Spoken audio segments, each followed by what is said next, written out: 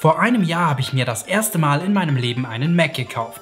Genauer gesagt das damals brandneue MacBook Pro mit M3-Chip. Bis dahin habe ich immer Windows benutzt, bin quasi damit aufgewachsen, vom Windows 98 bis Windows 11. Wie komme ich mit macOS nach einem Jahr Nutzung zurecht, was ich an meinem MacBook Pro liebe und welche Dinge für mich absolut keinen Sinn machen, erfährst du in diesem Video. Apples Produkte faszinieren. Die einen hassen sie, andere lieben sie. Manchmal ein bisschen zu sehr. Ich war eigentlich nie ein großer Apple-Fan. Habe zwar immer mal wieder zwischen Android und iPhones hin und her gewechselt, aber mit Macs konnte ich nie viel anfangen. Sie waren viel zu teuer und meiner Meinung nach für Leute gemacht, die zu dumm sind, einen PC zu bedienen und lieber mit ihren MacBooks in Cafés flexen. Bis 2020. Apple stellt den M1 vor, ein Meilenstein der Computergeschichte. Apple vereint die Effizienz eines Smartphone-Chips mit der Power von PC-Komponenten. Und das alles in einem Chip. Ich war fasziniert.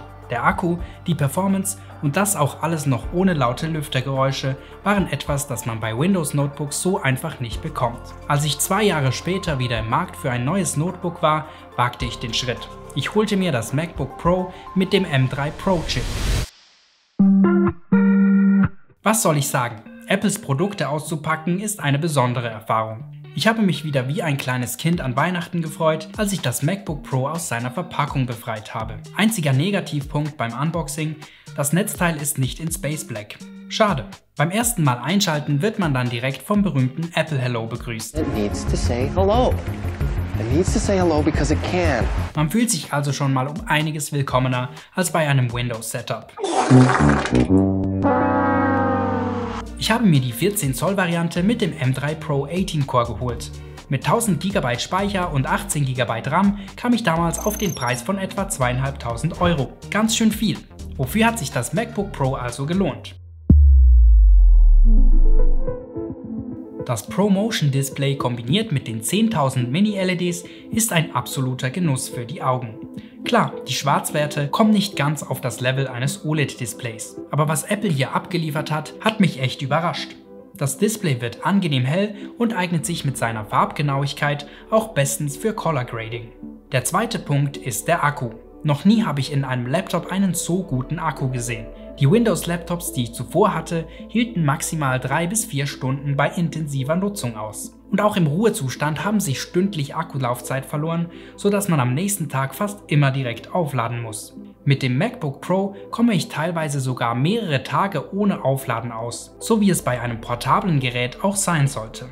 Und da sind wir auch direkt beim nächsten Punkt, der mich echt überrascht hat, die Portabilität. Das MacBook Pro fühlt sich wie ein übergroßes Smartphone mit Tastatur und Trackpad an. Bei meinen bisherigen Laptops hatte ich nie wirklich Lust, an einem anderen Ort wie auf dem Schreibtisch zu arbeiten. Wegen des schlechten Akkus und der heißen Luft aus den Lüftern machte das einfach keinen Spaß. Das MacBook hingegen fühlt sich wirklich wie ein portables Gerät an und ich kann damit fast überall arbeiten. Was mir am MacBook Pro auch sehr gefällt, sind die Lautsprecher. Bei meinem letzten Notebook, dem Dell XPS 15, waren die Lautsprecher viel zu leise. Ich habe damals fast immer Kopfhörer oder externe Boxen benutzt. Das MacBook aber hat einen wirklich satten Sound und volle Bässe.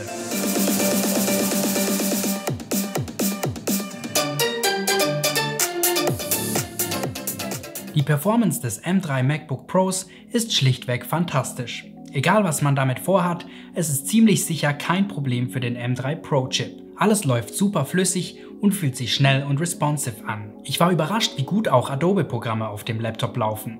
Das Schneiden von Videos mit Premiere Pro macht echt Spaß auf dem MacBook. Und sogar das Trackpad gibt mir ein haptisches Feedback beim Bearbeiten der Timeline. Ein echt cooles Detail.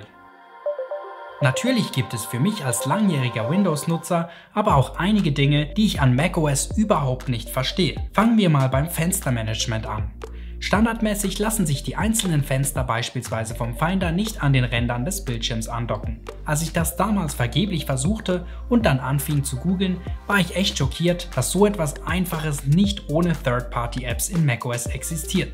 Und ja, ich habe mittlerweile auch herausgefunden, dass es die Option, wenn man über das grüne Symbol oben links fährt, gibt aber trotzdem ist das nicht wirklich intuitiv. Und wenn wir gerade von einfachen, intuitiven Dingen sprechen, was ist da los mit dem Switch zwischen Trackpad und Maus? Wenn ich eine Maus an das MacBook anschließe, ist die Scrollrichtung invertiert.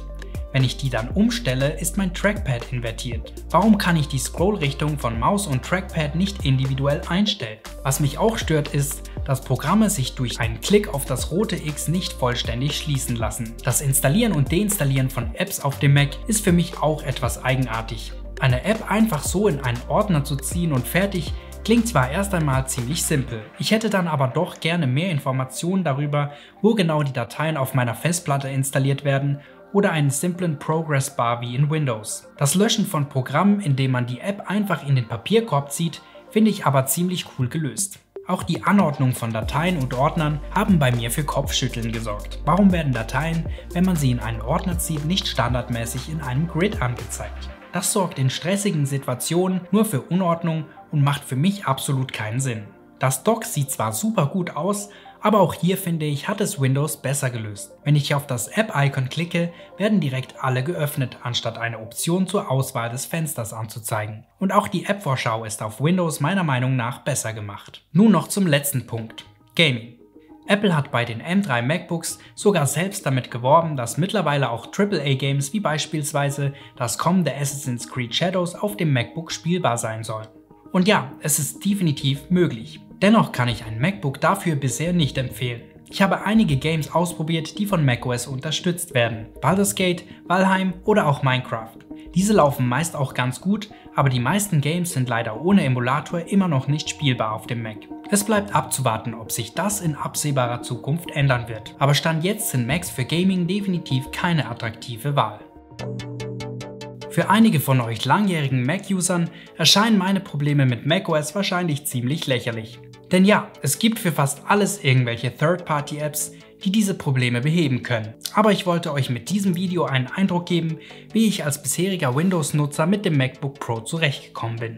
Insgesamt ist das ein echt tolles Notebook und sicher eines der besten, das es derzeit zu kaufen gibt. Lasst mich gerne in den Kommentaren wissen, wie ihr zur Thematik steht. Nutzt du ein Windows Notebook oder auch einen Mac? Vielen Dank fürs Zusehen. Wenn euch das Video gefallen hat, lasst gerne ein Like da, abonniert den Kanal und aktiviert die Glocke, um nichts mehr zu verpassen. Macht's gut Freunde, bleibt gesund und bis zum nächsten Mal.